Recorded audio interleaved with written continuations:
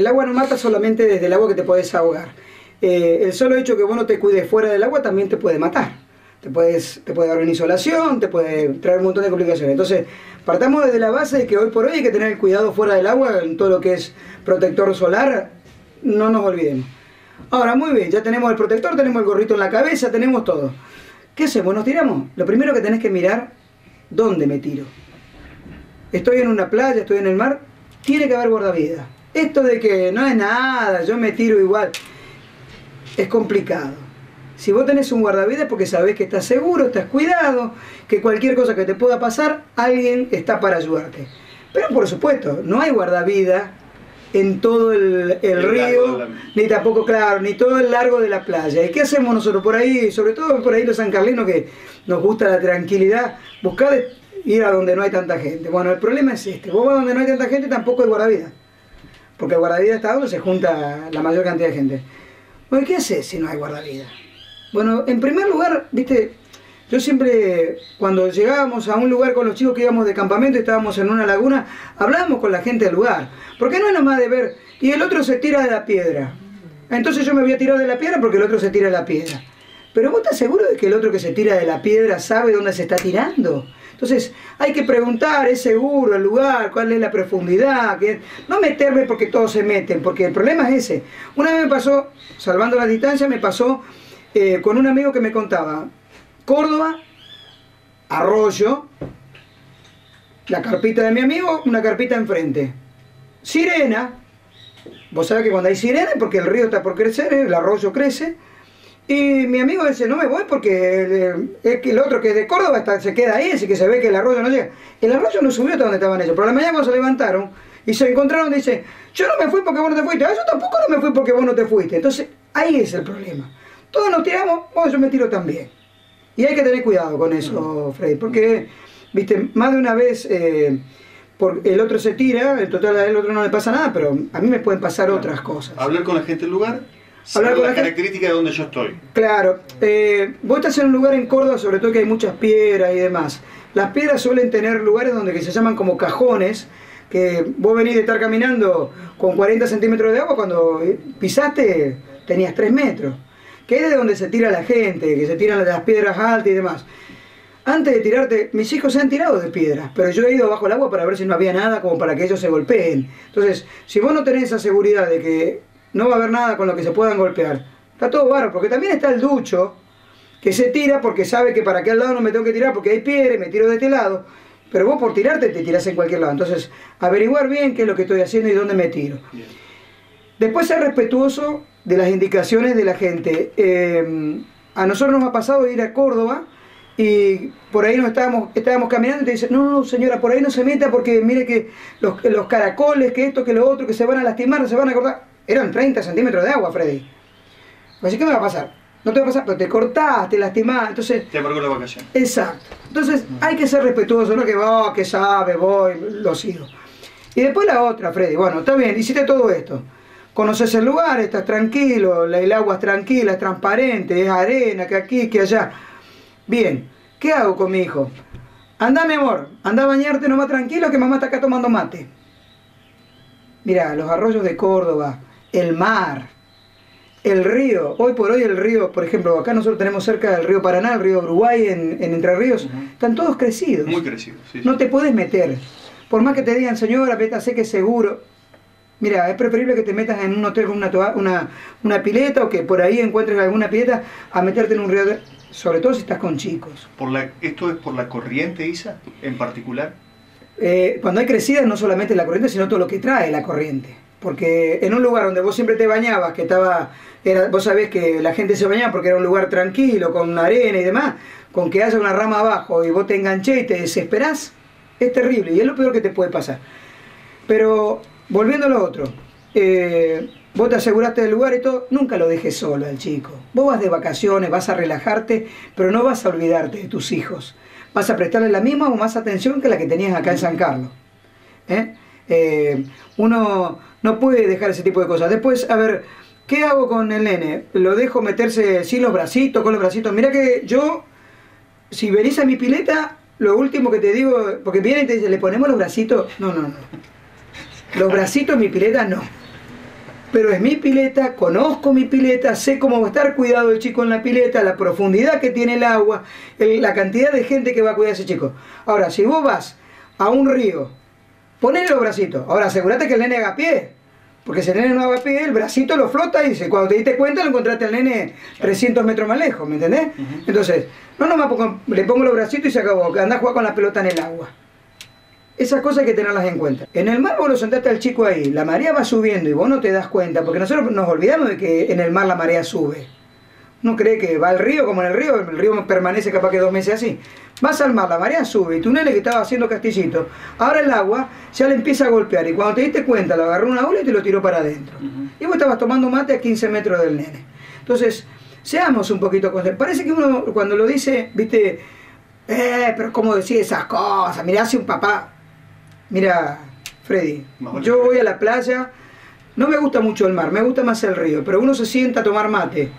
Ya mis hijos son grandes, ya saben lo que tiene que hacer, yo lo he, corregido tanto que ya, entienden cómo tienen que manejarse en, el río, en el arroyo o en la laguna, lo que sea. Eh, que vos ves a los otros padres y por ahí decís, a ver, salen en bote o salen en calle a dar una vuelta, ninguno con salvavidas. Y el otro día me pasó, no el otro día, pero el año pasado habíamos estado en, Entre Ríos, en la zona del Palmar de, Colón. Em, viene un bote con dos personas grandes, con salvavidas, y el cachorrito, el perrito, tenía un, salvavidas puesto.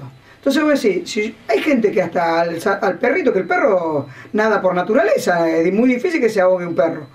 Pero le habían puesto un salvavidas. Al lado salía una pareja de chicos con 4 o 5 años sin salvavidas ninguno. Entonces, sí, pero conozco el lugar. Pero los ríos cambian tanto que enganchaste un banco de arena, te caíste al agua. ¿Y qué hacemos? Entonces, Freddy, hay cosas que nosotros tenemos que tenerlas en cuenta, tenemos que manejarlas por el, bien y el cuidado de nuestros hijos, por la seguridad de nuestros hijos y las nuestras también. Em, no voy con chicos, somos todos grandes nos juntamos en barrita, nos vamos al, río. Yo con mi hijo, de esto lo hablo mucho, eh, vamos al río y bueno, llevamos cerveza, fernet, coca, pim, pam, pum. Y el río es playo, nos metemos al río. No es necesario que sea hondo, con que vos te descompongas y caigas boca para abajo. Es suficiente para que te ahogues, si nadie te ve. Y muchas veces te rescatan a vos y se ahoga el que, el que se tira a rescatarte. Sí, sí, ha, habido casos. Ha habido casos. Totalmente. Entonces. Eh, no es una buena combinación alcohol con, con río o con mar. Mira, eh, el alcohol no es combinación ni para el río, ni para, ni para manejar, ni, para, para caminar, ni para, Claro. Es una eh, situación más propensa al peligro. Ni que hablar. Y si vos vas, generalmente cuando uno va así entre, en un grupo. Se toma, por supuesto que se toma. Bueno, listo, hacete una siestita, quédate al lado del río con las patitas remojándote y después bañate en el río. Lo mismo que esto de comer. Yo estuve, el otro día estuve investigando un poco y leyendo, porque siempre me, me, me llamó la atención. No hay un estudio concreto que diga que porque vos comes mucho eh, todo tu aparato circulatorio va a llevar el oxígeno al estómago para que haga la digestión. Lo que sí dicen, o sea, no hay un estudio científico que lo, corrobore, lo que sí dice todo el mundo, y lo dicen también los estudiosos, vos no te puedes meter al agua con mucha cantidad de comida en el estómago. Esto de que comiste una sandía y te tomaste, tomaste una damajuana de vino, no te metes al agua. La sandía es por el hecho de, de bueno, te va a comer una sandía para meter, pero que comas mucho y entres al agua, vos entras en, una, en un proceso de digestión donde ya entra una, una fiaca, como le decimos nosotros, que entras, viste, y por ahí, por el hecho de ponerte a jugar, te acalambrás porque tu, tu músculo, tu estómago está trabajando, entonces vos al trabajar tu, tu estómago se contrae, tiene mucha comida adentro, te acalambras, un calambre, te agarraste la pierna, cuando te diste cuenta no podés flotar. Evitemos esa cosa, vamos, que, hagamos una siesta juguemos un truco, hagamos algo y después nos metemos cuando realmente sabemos de que ya ha pasado un poco el efecto del alcohol, ha pasado. Y si no, quédate ahí en la playa. Lo que pasa es que, viste, hace calor. No te vas a quedar con el agua a la rodilla. Vos querés ir más o menos de la cintura para arriba. Y si no hay un guardavidas que te esté cuidando, Freddy. No es una buena No. Cuídate, cuídate, cuidémonos, cuidémonos entre todos, porque por ahí también vos ves que eh, a mí me ha pasado de ir al río y tener una boya que marca hasta ahí. Cuando vos llegaste a la boya tenés el agua a la cintura, eh, pero viste, más de uno transgrede, va del otro lado, lo llaman a la atención, vuelve, este ¿qué es lo que hace? Como es vivo, se va lejos del guardavidas y se mete allá. Pero si te ponen las boyas ahí, por algo es. A mí me pasó una mañana en eh, Punta Arena, en Callastá.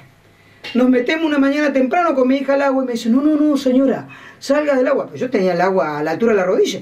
Salga, salga del agua porque todavía no pusimos las mallas, porque había palometa. Todavía no tiramos las mallas para la palometa. Entonces, fíjate vos, yo no me baño ahí donde está el guardavida que me dice eso, voy más lejos y corre el riesgo de que, no digo que te van a comer como se ve en las películas, que te llegan las pirañas y te devoran. Pero muerden, Freddy, ¿viste? También te va a llevar una, un, chasco. Entonces, todo este tipo de cositas. Y el mar, eh, tratar de hacer mar, de hacer playa, donde hay guardavida. Hoy por hoy no tiene sentido. Hay tantas playas con guardavida. Sobre, sobre el mar, para finalizar, contame algo porque uno va este, fundamentalmente a la costa, del Argentina los que pueden, o al sur de Brasil la típica en muchos lugares playas tranquilas, sin esa, esa, vorágine de ola, no sé, la, la, zona de, de, de, Florianópolis, lo que es Brava, lo que es Mole, que están sí, que se mueve mucho, que se mueve mucho, dice, bueno, no, me quedo acá en este Canto Grande, en Mariscal, eh, eh, mucha playa, no, no pasa nada. Acá no pasa, digamos la típica, el, el, el speech es, no pasa nada. No pasa ¿Qué, ¿Qué, debemos tener en cuenta? Digo, las, las, banderas, color de bandera, más allá de los guardavidas que, que Sí, eh, hay, hay, un, hay, un, hay un diferentes tipos, hay tres tipos, tres o cuatro tipos de banderas donde vos sabés qué tipo de mar tenés y de donde vos sabés que si hay guardavida, por más que tenga una bandera eh, calma y vos te quieras de esas que son las verdes, que son que vos te podés meter tranquila, el guardavida está siempre atrás tuyo. Yo me había metido en las grutas con guardavidas y todo, pero estábamos jugando con las tablitas. Y con la tablita vos no te das cuenta, vos venís jugando, venís jugando, cuando me di cuenta, sí estábamos un poquito más al hondo. Silbato, señora, un poquito más acá. Entonces, vos te sentís tranquila, te sentís seguro. Ahora, no hay guardavidas, Freddy. Si vos te metés, metete hasta donde estés tranquilo. Vos sabés que de la cintura para arriba, cuando entraste al mar, cuando la ola viene, te tumba y te saca la arena cuando vuelve. Entonces, cuando querés hacer pie, ya no, ya no tenés más nada.